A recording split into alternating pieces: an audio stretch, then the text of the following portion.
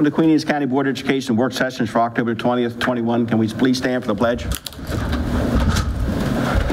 pledge allegiance to the flag of the United States of America and to the republic for which it stands, one nation, under God, indivisible, with liberty and justice for all. Good evening. Uh, Dr. Saelens has appointed uh, Amy Hudak, Assistant Superintendent, to be our secretary to the board for this meeting this evening. Uh, Do I have approval for the agenda? A motion? Motion to approve the agenda? Second, All those in favor say aye. Aye. Aye. All ayes have it. We have in front of us uh, board minutes, closed sessions for October the 6th. Everybody had a chance to review them? yes. Yes, motion to uh, approve the closed session minutes for October 6, 2021? Second, Have a motion and a second. All those in favor say aye. Aye. Ayes have it. We also have uh, minutes in front of us for October the 6th, open session. Has everybody had a chance to take a look at them? Yes, motion to approve the minutes for October 6, 2021, open session? second, Have a motion and a second. All those in favor say aye. Aye. Ayes have it. Thank you. Okay, moving on. Um, High school course options presentation. So we have a team coming in to uh, present the options that um, high schoolers have while attending the high school. They're going to give an overview, so if there's anything that you would like to see at a later date that they dive into a little bit deeper, just let us know, and then they can come back and, and present additional information. Aye. Good evening, Mr. Smith, Ms. Hudak, board members, and executive team. For the record, I'm Amy Smith, mathematics supervisor and gifted and talented supervisor. And I am Adam Tolley, Supervisor of Career and Technical Education and Social Studies. So this evening, we want to discuss some different program opportunities for our high school students and share with you just some of the different pathways students have in the course of time in high school. So within our academics and our UAs, we offer honors and advanced placements for students to be able to choose. We have career and technology education pathways. There's apprenticeships. There's dual enrollment, which offers students high school credit as well as college credit. And then we also offer the Early College Academy. The diagram we have here just shows you the different courses, how we have both honors and advanced placement. Our program continues to add opportunities for students. Just last year, we added a new advanced placement course into our schedule for 2D art and 3D art. So as students become, um, have that opportunity to grow in different pathways, then we offer more opportunities in the different advanced placement courses as well. Mr. Tolley? And so this is just a comprehensive list of all of the CT programs that we offer at both high schools, uh, and just kind of listed in alphabetical order. And the, the last one on the list, um, Youth Apprenticeship, is one of our newest uh, pathways, and it's kind of a, a little bit of a different um, pathway than, than the others because it is a, an actual apprenticeship where students go out, but they, they earn the, the same credits, it's the same pathway to graduation as our other, as our other programs.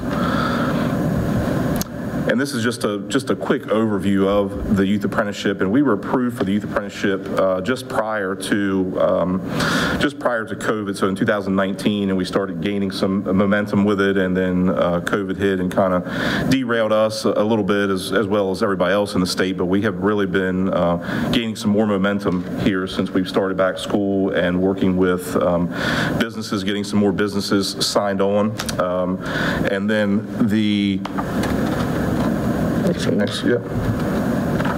And this is just, uh, just a quick overview of the youth apprenticeship. So, so students have to um, get 450 hours of work-based learning. When they do this, they are also paid for this work, and they're paid minimum wage. Um, In the cases that we had, uh, we had five students in this program in 2019. All students, the businesses that hired them, they were paid more than minimum wage. Um, And so it's just, it was a great opportunity for those students. And uh, our, our newest initiative that we have been working on with Chesapeake College is a culinary arts uh, youth apprenticeship program. So we have been working on that that with them for a little, probably close to a little over a year now, and we will be launching that in the, in the spring. And so we have 10 spots open for students, and we are, we are reserving five for each high school. Uh, And we have businesses that have signed on, specific restaurants that have signed on for this initiative. We have some more that are waiting for approval by the um, Maryland Department of Labor, and that goes up for approval uh, next month. And so we believe that we're going to have enough uh, businesses, we actually will probably have more spots than we have students uh, for them to go to. Um, And then the other, the other big piece uh, to this is that they, um, we have worked, uh, worked with the Chamber of Commerce, worked with the college, and we have secured uh, grant funding for this year to cover the entire cost for these students. So the students that apply to this, those, those students that get, uh, that apply and get selected will not have to pay anything to do this program. So we're, we're very excited about it. And again, we've uh, been working on this for quite a while. We've, we've um, talked and met with school principals, with counselors, um, with the college, with businesses. So we're, we're ready, ready to get this going and really excited. So I think we'll, we'll have, uh, you know, once we get everything out, I think we'll have a very good, um, you know, participation rate with students. So we're, we're very excited about it. Right. And then the last um, opportunities that we have are the dual enrollment and early college academy. We have partnerships with Chesapeake College, Anne Arundel Community College, and Washington College for that dual enrollment and the early college academy. Dual enrollment, the student has to be 16. It has to be a course that aligns with one of our courses that the college is offering. And then as long as it's listed in our catalog, the student can receive both high school credit as well as college credit, earning them on the route for an associate's degree. The early college academy, a student can be accepted into one of these colleges as early as ninth grade. They have to apply. They have to have willing and able transportation to get them back and forth, or if their program is virtual in certain courses, then they can do that in that virtual mode. But again, it's while they are duly enrolled within the high school receiving credit on both sides. But then when they graduate, they actually will finish with an associate's degree if they happen to be in that early college academy, as well as get their high school diploma. And in the past, um, the college has offered the courses at the high schools, so that has afforded those students in the um, early college academy to, to start their participation. So we have enough, they'll send a professor down to our school and teach. They have in the past. Um, I don't know that that is the practice as of right now, but that's how they had done it in the past. So is that the only difference is your early college, uh, your early college academy is for ninth graders and to do the dual enrollment, you need to be 16 or older, so. 16 or older in the Yeah. dual enrollment.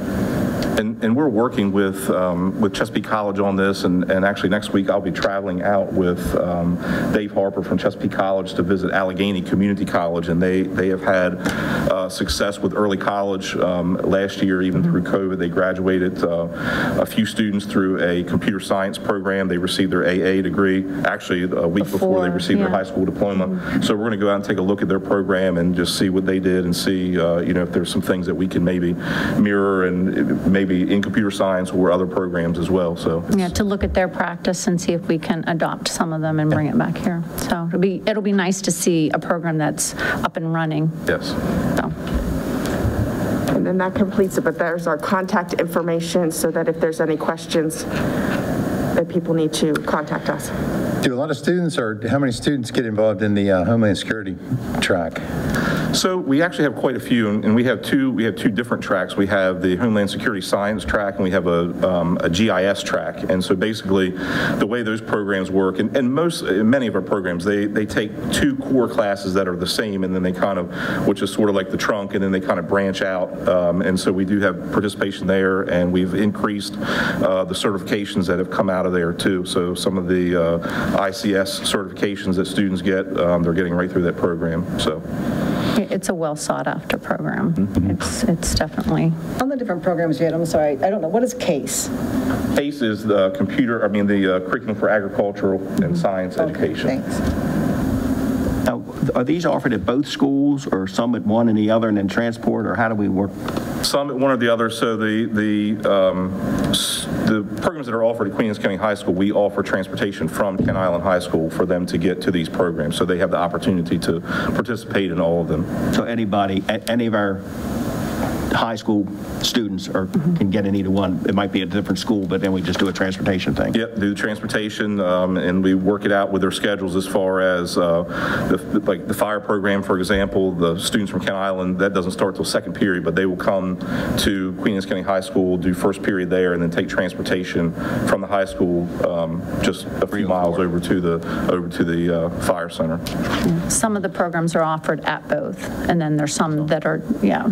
I believe that what Kent Island is offering, Queen Anne's is also offering. Correct. Um, and- But then Queen Anne's does have the um, additional programs. What are the, the, what are the prerequisites? I mean, I understand that for dual enrollment, it's, you're 16 and the early college can be ninth grade, but are there any grade requirements, any behavior requirements, any for any of your stuff? It, it varies. Um, So, so for the youth apprenticeship, for example, uh, and again, that's a newer one, a little bit different. The students have to be 16 in order to get in there, um, you know, typically juniors and seniors. Some of the other programs, um, it, it depends, or biomedical science, which is a pretty rigorous program, there is a, is a GPA requirement. Uh, But for the most part, there are, are no um, requirements that restrict them from getting in. You know, some programs, they can start in ninth grade. Um, Other programs, there are cosmetology, for example, they have to meet, you know, Maryland, uh, you know, guidelines for them to actually complete the program, hour requirements. So uh, some of them are, are pretty strict. Nursing is the same way. Um, They have to meet Maryland Board of Nursing requirements to actually get through the program. But, but typically, there's, we don't look at, um, you know, discipline records and that type of thing for students to get in. We have a, we have a a form that they fill out, and we, you know, get the students in as best as we can. That also for your honors and your AP? There's no prerequisites? There is some prerequisite coursework that students may need to do in order to get to a class, but other than that. um, And then as far as the early college, they have to actually apply to one of those and make it through their acceptance process. So it's not something that we just say, okay, we're going to offer you the early college program. The college has to actually accept them through that application process. So it's, it's the same requirements as, as a student who would be going in otherwise. Thanks.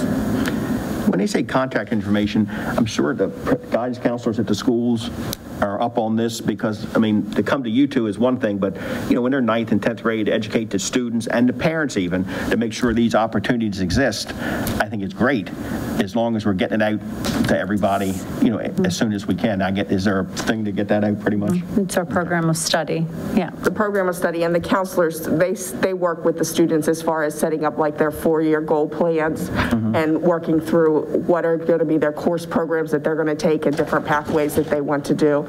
And they always talk about the opportunities for that dual enrollment. A highly motivated student, they would talk about the possibility of that early college. So just a follow-up to that then, uh, since it would start in the fall, if you went in, you could in theory go to the fall when you're in ninth grade. Do we go to the middle schools and do- are they familiar with the programs in eighth grade? There's an articulation process, and so our counselors from the high school go down into the middle school. They talk with the students and help them with that scheduling process. And then their counselors within their school at the middle school level also talk about their different pathways there too. That's all part of their four-year trajectory plans that they have to complete. I mean, I, I'm a 100% fan of this, like the CTE program.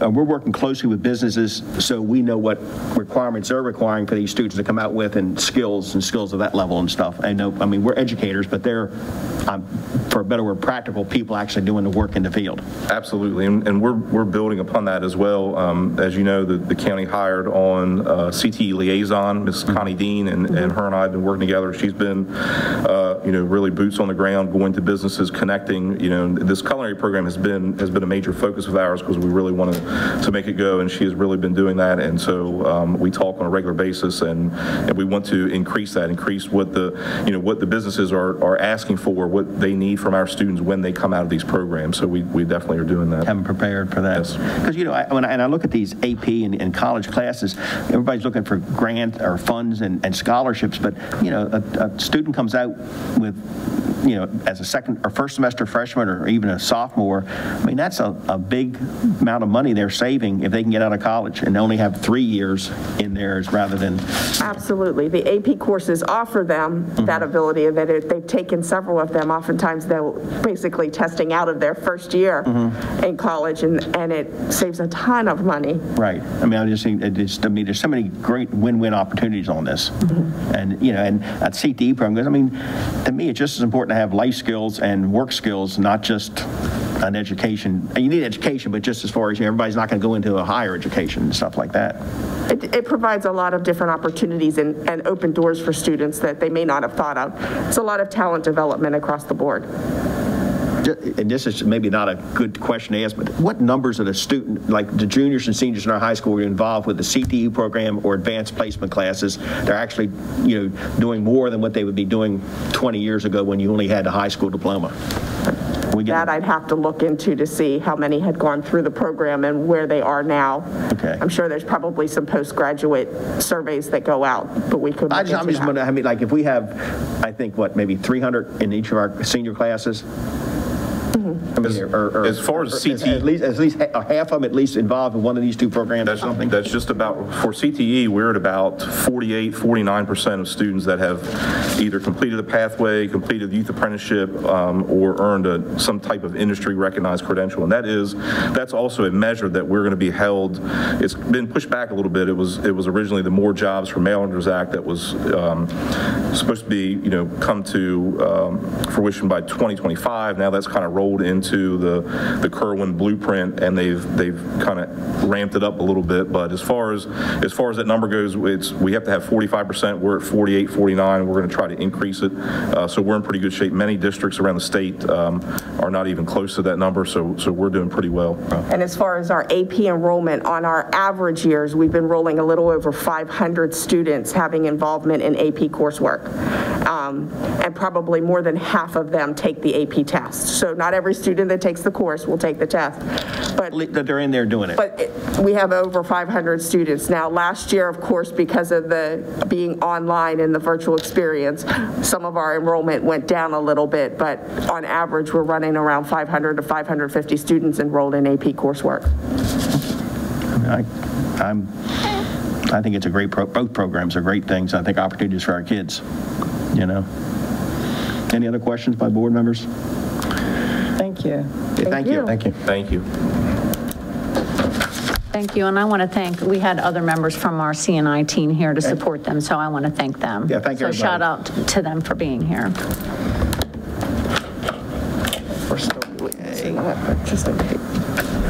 National School Bus Safety Week. Thank you all. Thank you. Thank you. Thank you, Michael. Just have a seat. It's not wired.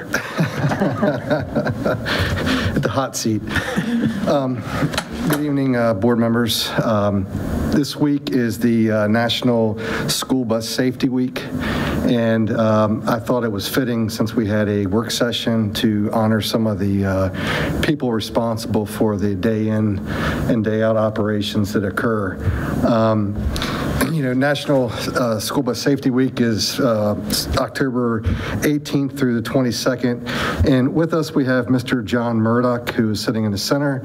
He is our transportation coordinator. Uh, Mr. Murdoch has um, started out with us as a special needs driver, field trip driver, athletic driver, and has worked his way up to bus driver trainer, and now he is coordinator of transportation.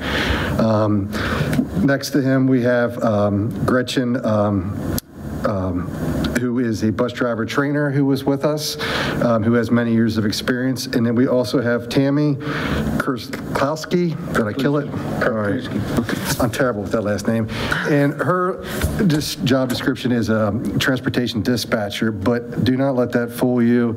Um, She uh, has her CDLs, and these individuals have been filling in uh, when we have drivers out for COVID to keep the buses running. Matter of fact, Tammy um, just dropped off the boys soccer team from Queen Anne's County High School down to Island High School for a game tonight and came back to here and we'll be heading back in the bus to pick up the team. Um, Third days start about 4:30 in the morning and they don't really get done until about 6, 6:30 at night. Um, So again, you know, um, Ms. Frazier and and Tammy and- and and John are the ones, the boots on the ground, that uh, help promote the national um, school safety. And I did also want to say, you know, thank you to our uh, four LLCs um, that provide uh, transportation to our students every day, along with our um, special needs bus drivers. We average about 2 million miles a year. Um, transportation-wise. That doesn't include um, field trips or athletic trips. It's about uh, 11,500 miles a day um, that we're transporting. And uh, I'm going to say it's not, one of the toughest jobs is making split-second decisions uh, with a child getting on and off the bus, whether the red lights, you know, are on. Um, You know, we have our bus, um, red light bus runner program in effect. The sheriff's department also assists us with that. But it it is a very challenging job to make those kinds of decisions of a child getting on a bus, making sure the cars are stopped. Um, And and truly, you know, they should be honored for that. Um, Again, contractors, our employees, um, it's something that occurs 180 days a year. And I know this is the national week for it, but again, it occurs every single day. And I just wanted to bring these individuals in front of you. Uh, Mr. Edie Cook is another bus driver trainer. He could not be here tonight. But again, you know, I know you see some other counties that are struggling to, you know, fill those positions. We have been able to keep everything going and the buses with their wheels still spinning, um, thanks to our dedicated staff. So I, I if- would just like to thank you all for you did, what you do. And in a second, if we could just get a picture. Um, I do have a, um, a proclamation from the uh, Governor Hogan, but I kind of wanted to make it something special about just our county because, you know, it is a, you know, national and a statewide thing, but thank you for all that you do, um, and again, for all the bus drivers. My my hat's off to you because when I was little, I rode the bus. I'll I'll date myself. John, I worked with John's father and his grandmother at the, uh, at the uh, Flores, so it's been while. But, you know, the bus driver is the first person these kids see in the morning. I mean, 6, 7 o'clock in the morning. And it's the last one they see in the evening. I mean, I know they, we have great teachers and great support staff, but these bus drivers are a major part of these children's lives. And, I mean, they're like, you know, I can remember, you know, they're, they're like your parents. You know, you knew Mr. Gaines or who, Mr. Walls or Mr. Murdoch, whoever was doing this. And it's just, it's amazing what, what these bus drivers, and it's a responsibility. I mean, 301, 50, I mean, even 213, it's, it's, it's, my hat's off to you. You got a great responsibility and, uh, I, I, I personally appreciate everything you do, only because I have grandkids on your buses too, so, and I think the other board members probably feel the same, I'm sure. Yep. Absolutely. Thank you. Thank you. Yeah. Thank you. If we could get a picture with the Yeah. board, if you guys don't mind, please. Because we have to get uh, Tammy back on the bus.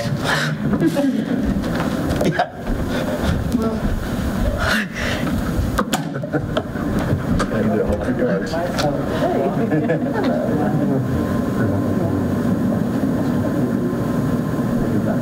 not gonna read that. That's too much to read. You're the acting. So just presenting it to them, then I'll just hand it. You want to, yeah, you want to open it? Miss Bennett, I can't see it. Perfect.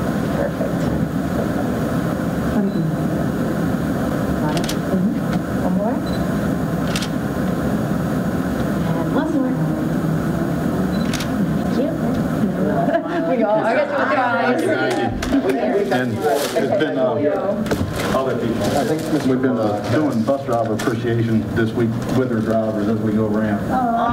This, is, this is just a little example. This is going to have to drive a bus. what we've been handing, what out. Yeah, I don't have my CDL. Thank you. Thank you very much. Thank you. Thank you. Thank you. Thank you. Thank you. Thank you.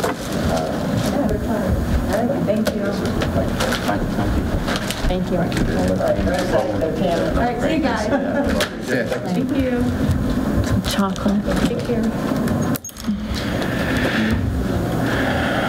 Okay. Thank you, Sid, that was very nice. Thank you. They do a great job. Yep. Okay, we have no current board action items this evening. Our future meetings, our next meeting will be November the 3rd, our regular meeting. Our work session will be on the 17th of November. Uh, We will be getting into our budget season, which will be additional meetings probably in, end of November, December, but the ones scheduled right now are November the 3rd for our regular meeting, November 17th, our work session. Also, I'd like to announce at Queen Anne's County High School, the Pops is having a a thing at the auditorium at 7 PM this evening. Uh, Yep, the Pops concert. It's Pop one concert. of, one of my favorite. Yep. So anybody that has time to slide out there, it could be a very nice evening. Do I have any other future business for the board? Negative motion to adjourn? Second. All those in favor? Aye. Ayes have it. Thank you.